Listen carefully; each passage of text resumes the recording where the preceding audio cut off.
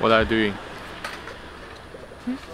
等一家子的从四月份到现在没有回过家。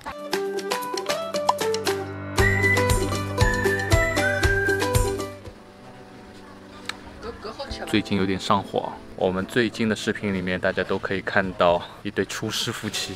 呃，我们最后吃一顿饭，因为他们明天就要回曼谷了。其实大家看到我们视频里面都没有仔细的去介绍过，大家都以为朱琪是厨师，其实不是，她老公是真正的厨师，真正的科班厨师。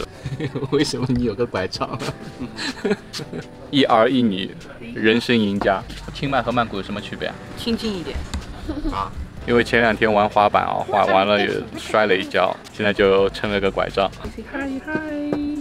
哎呦，今天像小公主一样。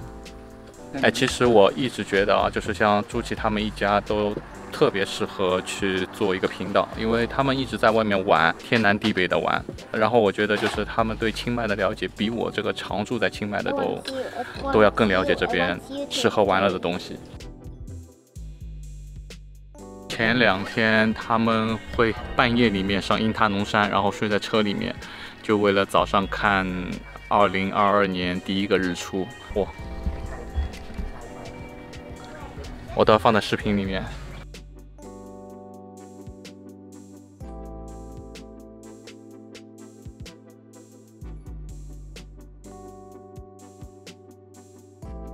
来，朱琪回来了。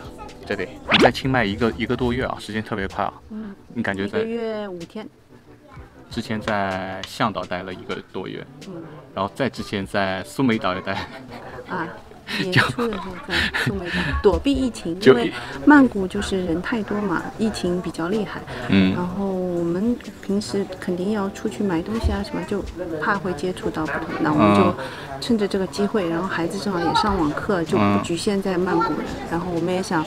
就深入的了解一下泰国各个地方，因为毕竟也来了四年，第四年了嘛。那么我们就先到苏梅岛住了一段时间，然后回到上海，再回曼谷的时候，疫情又很严重，那我们就继续上海岛，在向岛又住了一个月，再到清迈住一个月。等于一家子从四月份到现在没有回过家。刚才朱毅说了，我他们来了第四年。我们怎么会认识？就是我们是同时从上海出来的，我们来了清迈，他们去了曼谷。那你觉得清迈跟曼谷有什么区别啊？有什么不一样？清迈的话就是更慢一点，嗯，悠闲一点，就每天起来无所事事，就是看看外面的蓝天啊、白云啊、绿色的绿化啊，或者是就山里面啊，就是农村的生活。对，农村小清新农村应该说是。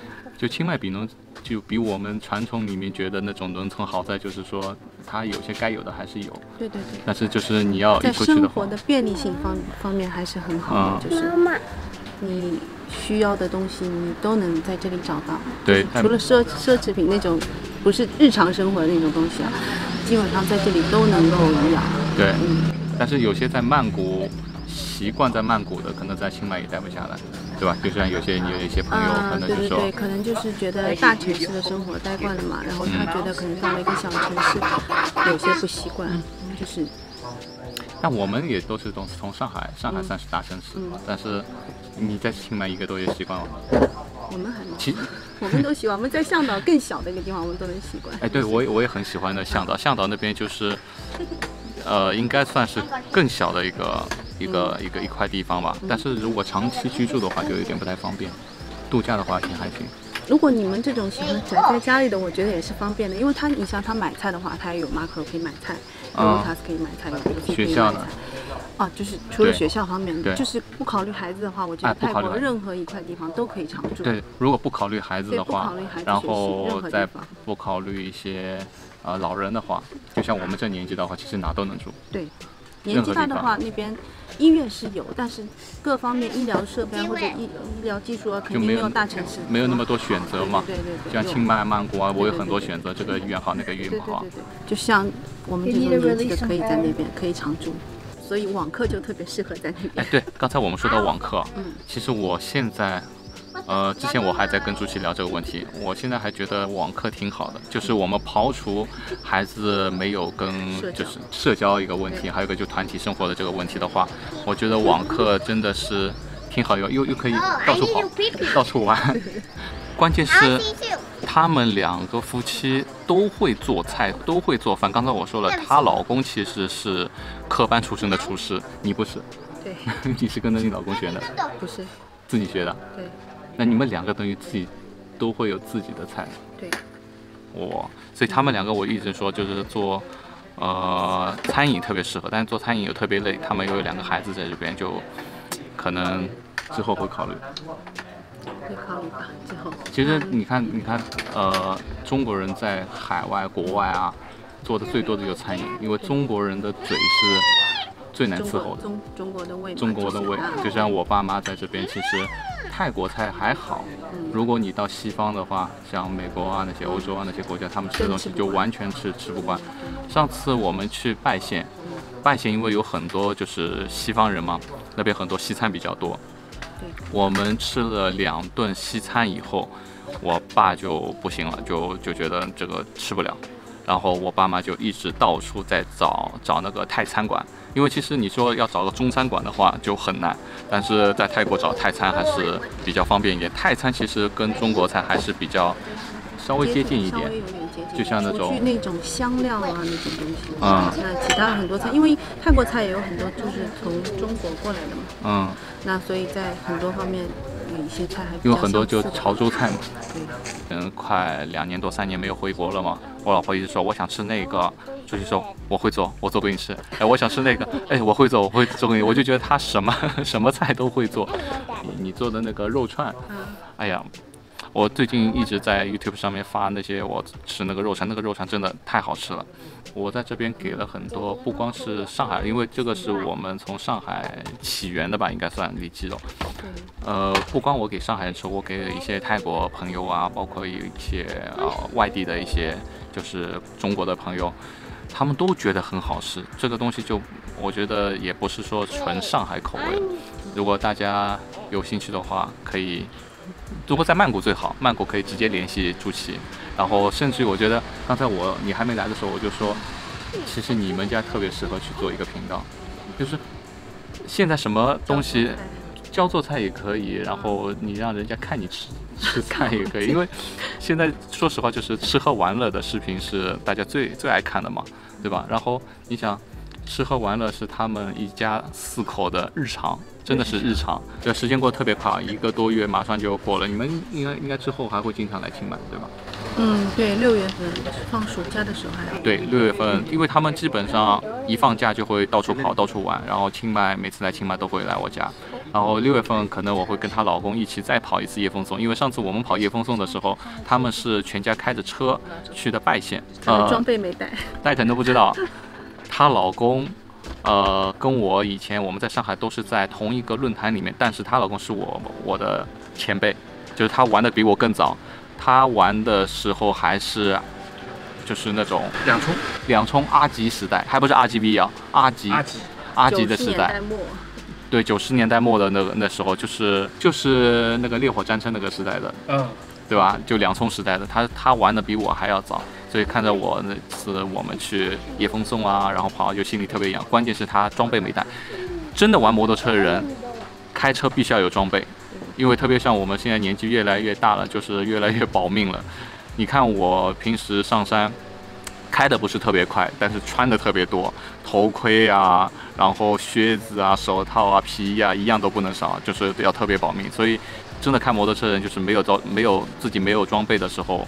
就不会去开摩托车，这一点我们一定要注意啊！就是说，真的要推推崇一下，就是不要穿个拖鞋。对对对对。哎，你其实也是跟他经历过那个摩托车时代的。对，我从小就在摩托车上长。哦，对对对对。我爸爸也是玩摩托车的嘛，就是。他爸爸更厉害，他爸爸是。军体小孩一起比赛，可能可能大家都不知道军体是什么，上海人都知道。军体校是我们最简单的、众所周知的，就是摩托车培训的一个地方。上海大多数的摩托车的驾照都是从军体校出来了。哎，那个是什么时候啊？七十年代。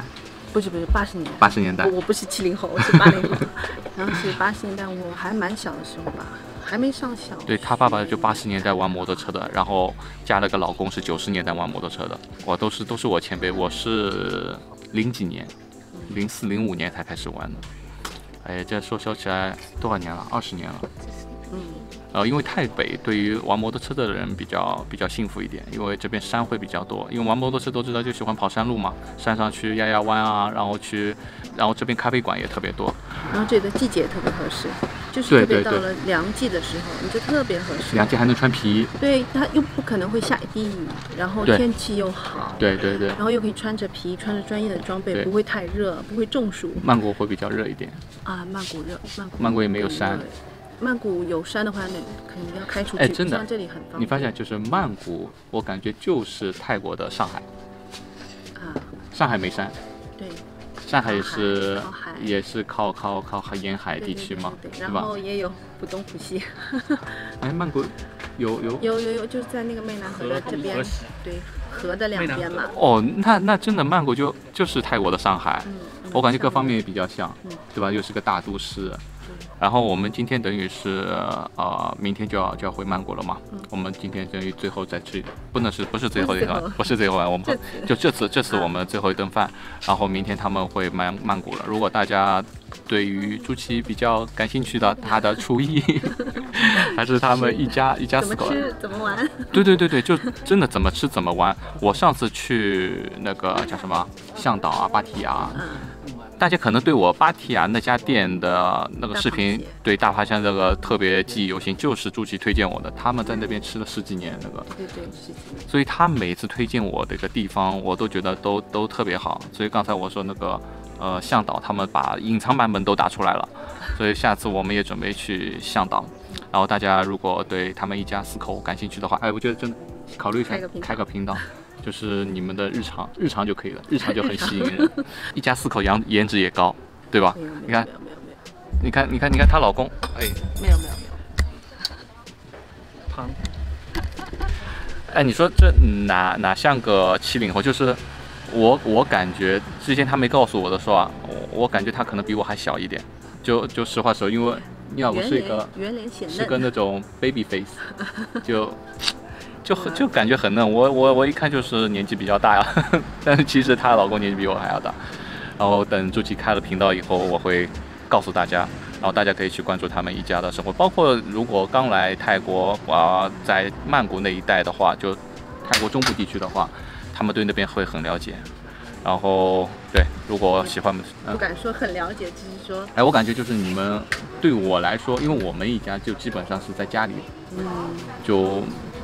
我们的生活方式跟你们就很大不一样。嗯，我们喜欢外面跑跑看看。对，就是一到周末吧，我也不像孩子总是坐在家里就玩电脑啊、看看电视啊。那我就带他会带他们出去，对对对，走走。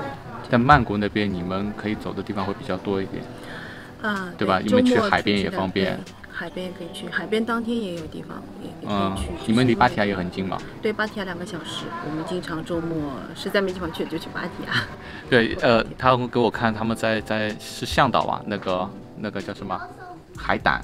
还在路上走，会路上走的那种海胆，就直接跳在海里面去，然后把海胆拿上来，就它在走。对啊，那些生活真的太太有意思了。我们可能这疫情两年在家里宅的时间太长了，都已经习惯在家里不太出门了。